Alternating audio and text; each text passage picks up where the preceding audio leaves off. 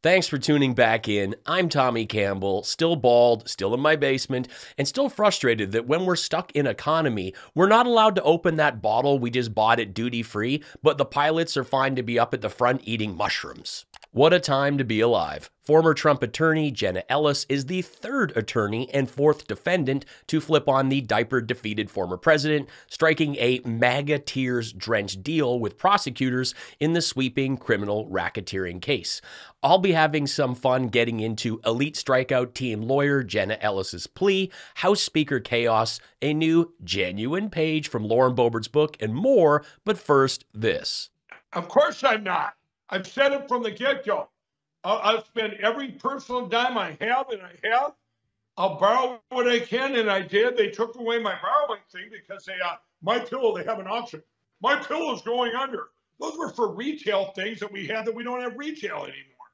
It's like any other auction. I thought it'd be like an auction. They made a national, international spectacle out of it.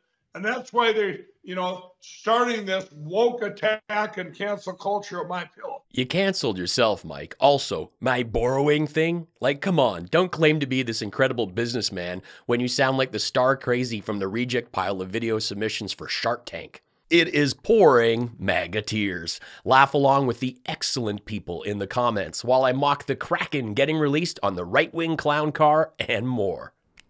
Congratulations on electing a House Speaker. He must feel so important being the fifth choice, but I totally knew he would get the votes even from the holdouts like Lauren Boebert because she's guaranteed to get her hands out for a Johnson. This is really cool. Elite Strike Force team leader Jenna Ellis joins Trump lawyers Kenneth Chesebro and Sidney Powell and bail bondsman Scott Hall. In 2019, Ellis was hired as a legal advisor to the Trump campaign, and Ellis was part of the post 2020 election legal team. How it started? And this is an elite Strike Force team. How it's going. We'll get to the MAGA tears in a second. First, let's enjoy the reading of the terms of her guilty plea. Involves five years of probation that you pay $5,000 of restitution to the Georgia Secretary of State within 30 days. And it's in my understanding that you're asking to be treated as a first offender.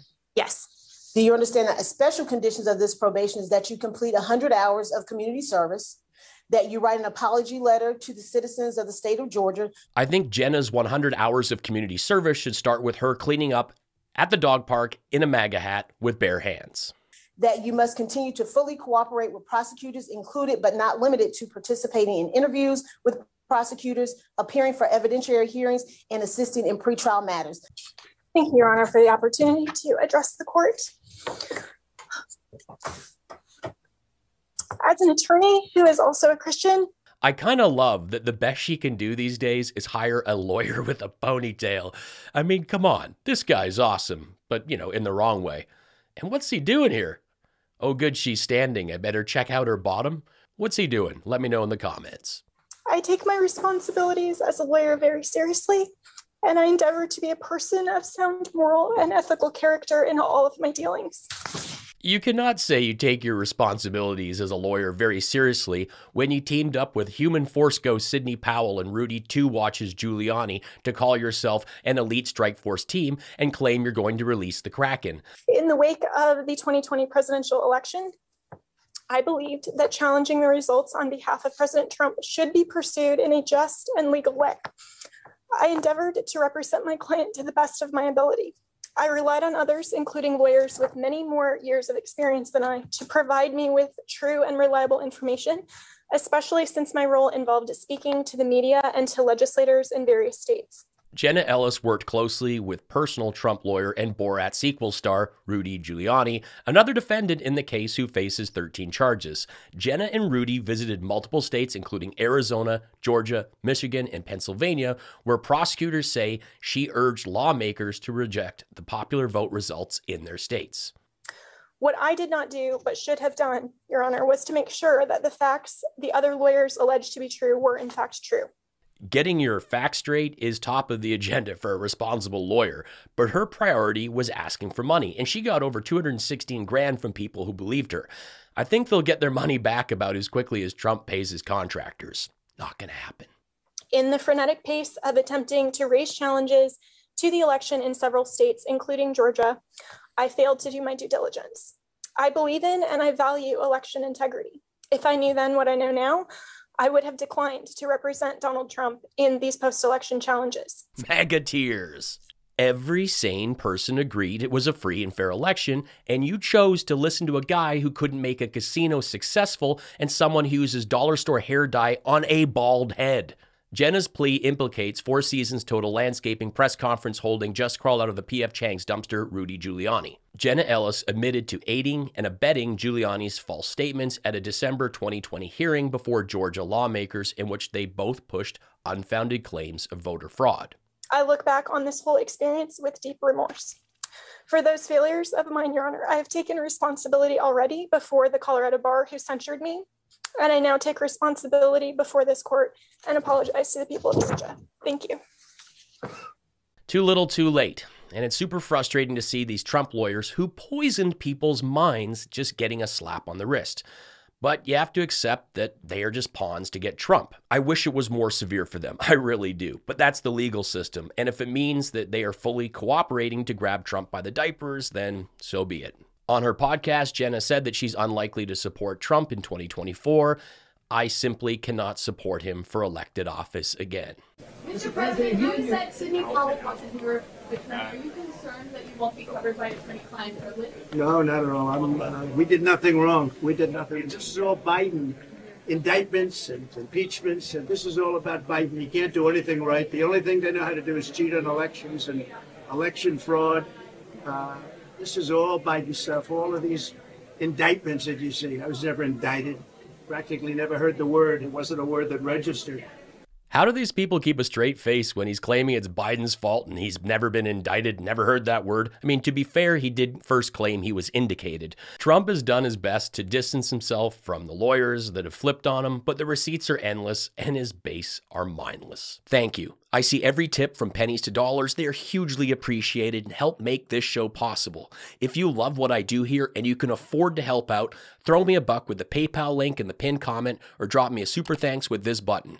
And please take two seconds after this video to follow me on Facebook and Instagram. These things are free and help the show grow. Thank you. As the risk of war escalates in the Middle East, Biden takes this week, once again, taking a breather with a walk along a Delaware beach, even as Israel warns of Hamas's efforts to make chemical weapons and the continued outcry over hostages being held captain by these terrorists being held captain. I am the captain now. She really said that. Being held captain by these terrorists. Yes, that was Kiss dressing room makeup explosion survivor Kimberly Guilfoyle upset that Biden is taking a breather and he's not doing enough. He was just in Israel. He wants to go for a walk on the beach for a few, let him. Trump spent most of his presidency golfing and Biden can't go for a stroll by the ocean. So we have to be careful. You got to get out there and you got to watch those voters. You don't have to vote. Don't worry about voting. The voting, we got plenty of votes. You got to watch election. You hear that, MAGA? You don't have to vote. Your sweet potato headed dingleberry just said so. For those new to the show, I'm glad you found me. Thank you. For a year, I've been reading a genuine page from Lauren Boebert's book. This really is a ton of fun. I only do it once a week, and it's been pretty wild. Let's get back to it. I was crying minutes ago. And there was no hiding this since the streaks of my imported eBay mystery makeup would not be going anywhere until I got my frisky hands on some paint thinner. We slipped into a booth away from the action where Jason got out his nuts. He had been keeping a little bag of them for Mountain Dew, and we let my hamster devour the salty treats while I pulled bills from my cheeks and piled them on the table. Jason tried to count the crumpled wet cash, and from his math, it looked like we had hauled in nearly $200. Not exactly top prize, and not nearly enough money to upgrade my teeth, so he was stuck with his old corncob face hole for now. You probably know my smile since it's so CoverGirl perfect that when I met Donald Trump, he said my teeth were as white as the sheets at his father's meetings. But it wasn't always this way. For years, Jason with a Y would call my mouth the cheddar tooth tunnel of fun. Well, it wasn't fun being called some of that, but when it comes to marriage, you have to be able to joke with each other. Like whenever it's hot out, I shame him into wearing a tank top because nobody needs to see a back that looks like the hood of a rusty station wagon that took the brunt of a hailstorm.